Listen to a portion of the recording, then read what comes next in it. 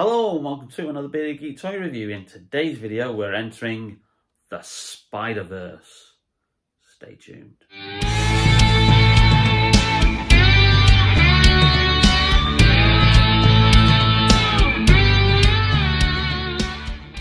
Welcome back to the channel and in this video we are looking at one of the Marvel Legends figures from Spider-Man Across the Spider-Verse. Uh, now, the most uh, observant of you will see that it says part one up there on the packaging. Now, obviously, these uh, toys must have been prepared before they decided to rename part two across the Spider Verse, and they've actually renamed it as Beyond the Spider Verse. Uh, now, that film was meant to uh, come out March next year, but there's been a lot of reports that it is nowhere near ready, so we're probably looking at another delay on that. However, Across the Spider-Verse did hit cinemas um, last month, and me and my son Zac went to see it. Um, check out the Japanese Spider-Man video for a quick little uh, review in there when we uh, just got back from the screening that we did in the car park from the cinema. Um, yeah, it's a brilliant film. Um, it is. You think Into the Spider Verse was a good film. This builds on everything that was in that film, and just improves on it. It's one of those rare sequels that is better than the original. Obviously, not going to give you any more spoilers, but Spider Gwen, who was more or less a supporting character in Into the Spider Verse, is now kind of like the co-lead in Across the Spider-Verse. It does concentrate a lot on her background, how she became to be uh, Spider Girl uh, or Spider Gwen, you know, as she's kind of like referred to. And also, um, she is one of the main reasons for getting Miles back into uh, the plot. Um, I won't obviously tell you more than that because Go and see it on the big screen. It is probably one of the best animated films that I have ever seen. Just the the sheer ingenuity of like each Spider Verse has its own kind of like different, unique animation style. It's just it's just a, a wonder to behold. So this is one of the figures in the wave, and here is some details on the back. So other characters that you can get uh, are obviously Miles Morales, Spider-Man 2099, who he's not the villain in the film, but he is kind of like the main antagonist. He's kind of like the one driving the narrative and kind of like what the reason for Miles coming into conflict with him. Um, but again, no spoilers.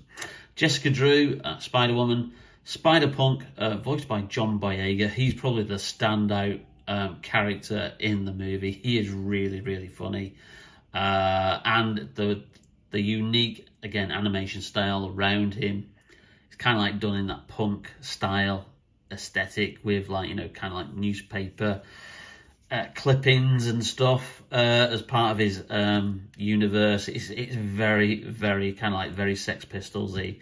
Um, the Spot, who um, I would say is probably the villain of the film uh, although he doesn't get a lot of screen time. And then, of course, Peter B. Parker, who was uh, obviously the Spider-Man who um, was in the first film Into the Spider-Verse, has more or less a cameo, um, but I get the feeling he's going to be uh, more of a major character in the final part of this uh, trilogy, should we call it?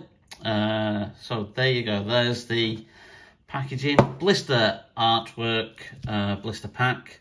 So different from the usual Marvel Legends, sets it aside, and obviously the big uh, Spider-Man logo on there. But enough about the packaging. Uh, let's crack it open and have a look at the figure itself. Miles! Want to get out of here? Oh! When? So wait a minute. There's an elite crew with all the best spider people in it? Who's the new guy? This is unbelievable. This is the lobby. Not too fussed about the packaging, uh, so I mean I've taken a little bit of care with the uh, old knife there to open up, but this is a, a packaging that I probably won't be keeping. Uh, but here we go, here is the figure. It comes with a couple of accessories. Now I have seen other uh, reviews online that have uh, kind of bemoaned the um, the accessories that it comes uh, comes with, and they do say that perhaps you know just one set of hands isn't enough. Should have at least come with uh, another set of hands because well, let's just prize around. What you've got here is obviously an alternative head, uh, is there. And then you've got the two kind of wall crawling hands, which are nicely detailed, very nicely painted. Uh, and um, obviously then the figure itself, uh, which is a great, uh, great likeness to the actual comic book character, but giving it a bit more of that human aesthetic. There is digital face printing on there. Uh, lovely attention to detail with the hair shaved at the side, and also that she's got piercing there, if you can see uh, on her eyebrow, which again is a nice bit of detail. But um, some reviews have said she should have come with two web slinging hands and obviously two fists, but you just get fist, web slinging hand on the actual figure itself, and then the wall crawling hands uh, as an alternative. So um, usually you get at least like three pairs of hands with Spider-Man figures. Um, so I don't know why they've kind of like cut corners with this. Uh, because this is still twenty four ninety nine, which is obviously the standard price for Marvel Legends. Um, so yeah, a bit of a bemoaning there that yeah, you know, you could have just thrown in an extra pair of hands there, really, just to give you some more display options some more play options if you're the kind of person who plays with their action figures. Um, lovely paint job, uh, very nice clean web lines on both arms. No dodgy um, paint splashes or anything there, which is good. Uh, she does seem very kind of like delicate and fiddly, but kind of like, you know, she's obviously quite thin, but in keeping with the aesthetic of the character. Uh, nice, bold paint lines on the body, and lovely attention to detail on the shoes with the Converse uh, and the high tops. Really good detail there. So she's a, a right, uh, very good, like, nifty little figure. Um, you know, I wasn't really going to be that invested in um, this action figure line, um, but I just loved the film so much. I loved, uh, obviously, the character. I loved what they did with her. Uh, you get some backstory about how, obviously, how she became uh, empowered with, uh, you know, spider-like abilities.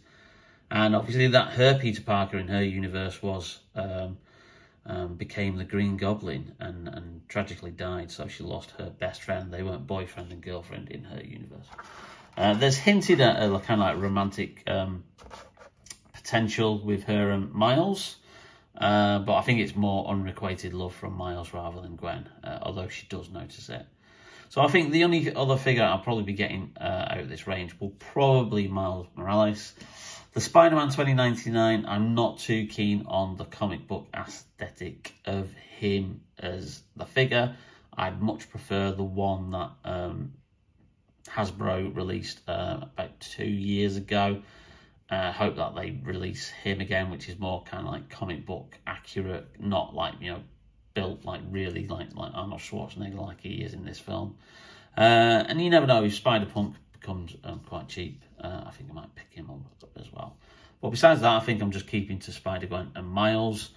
Um, interestingly, shortly after we saw the film, we popped into Smith's, which is where I got this from.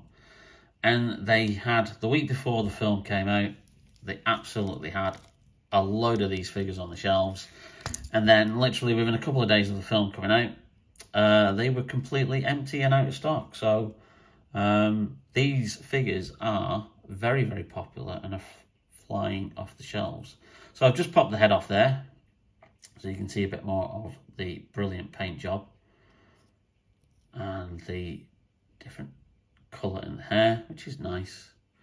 Uh, and then you get, I think that pops off there because that's the hood. So that's a section there. And then obviously then the hood then goes on here. So you put that through and let's just pop that in place. That needs to go down there. Yeah, so there you've got her as uh, Spider Girl as the display option. Now, I'm really torn about how to display this figure. Do I display it like that or do I display it with the head? My go-to option was always to display it with the actual mask on, with the hood up. But you know what? I'm really damn liking the facial sculpt on that. Hmm, interesting. Yes, lots of uh, quandaries there about how I'm going to display that. Lots of articulation on uh, the figure. You can move it into various like different poses.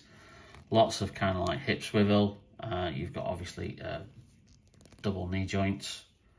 Uh, not much movement on the old arms there. We don't seem to have butterfly joints there. Um, but at least you've got some kind of movement in there. I apologise for the little noise at the side, but it's the old cat joining me again whilst I'm filming a video. Uh, she's actually taken my spot and uh, the usual um, thing that I put down on the table, she's actually lying on top of that. So hence why you get to see this instead. Bit of a change of scenery. Um, one thing I have seen a complaint on is from a paint job point of view is this like copyright mark that's there on the leg. A lot of people complaining uh, that that really should be on the feet. But the feet are so small, I can kind of get why you put that on there.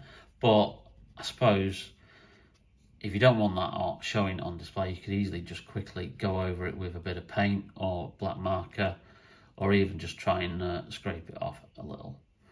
But it is a great figure. Let's just see how she stands up, if she does at all, because she is very, very spindly. Let's just move the camera down. There we go, that's not too bad. Nice little bit of a display. Of course, we could even have her a bit more kind of like spider-like. But again, you're gonna get into ooh, precarious balancing issues there of whether or not she's actually then gonna stay as she is. Yeah, she's there you go. No. so obviously the I think she probably comes across as a little bit top heavy there. Um, but I'm pretty sure you would be able to put her in some kind of pose. There is no peg holes though on on the uh, the feet, which um, you know Black Series and uh, Marvel Legends usually do have. Which obviously, they, if you then get stands, uh, you can then kind of like have them posed so they don't fall under. But so that's a bit of things. So you might have to use a bit of Blu Tack if you were having her in a particular pose. Yeah, she's not going to stand up there, so let's just have her stood up a bit more like that. Anyway, it's a great figure. I'm still not decided how I'm going to display it. Um, I think I might, might display it with her without the mask on. I think that looks like a far better display option. Um, but um, 24.99 from Smiths, lots of online retailers. Um, like I said, a little bit limited that we've got obviously only one pair of hands there, but you know, I'm sure if Hasbro are going to re-release these figures at some point, or next year, or whenever uh, the final film Beyond the Spider-Verse comes out, I'm sure they might think about just putting a few more extras in there. So, hope you liked the review. If you did, please leave us a like. It really does help out the channel. And also, don't forget to hit that subscribe and notification button because um, to be notified oh hello cat whenever we upload a brand new video in the meantime uh, there's been more videos to come take care stay safe and we will see you soon on bearded geek toy reviews the cat he's really just out of sorts there she doesn't know what to do Oh, I've disturbed her. Oh dear. Anyway, see you later, guys. What about Uncle Ben? Not for Uncle Ben, most of us wouldn't be here. Can't stop me now! You can't run forever, kid! I can't lose one more friend. Miguel, this isn't what we talked about! You knew? I have no idea what you're doing! Station, stop Spider-Man! You? you what, me? I looked at my uncle and... Uh, let me guess. He died?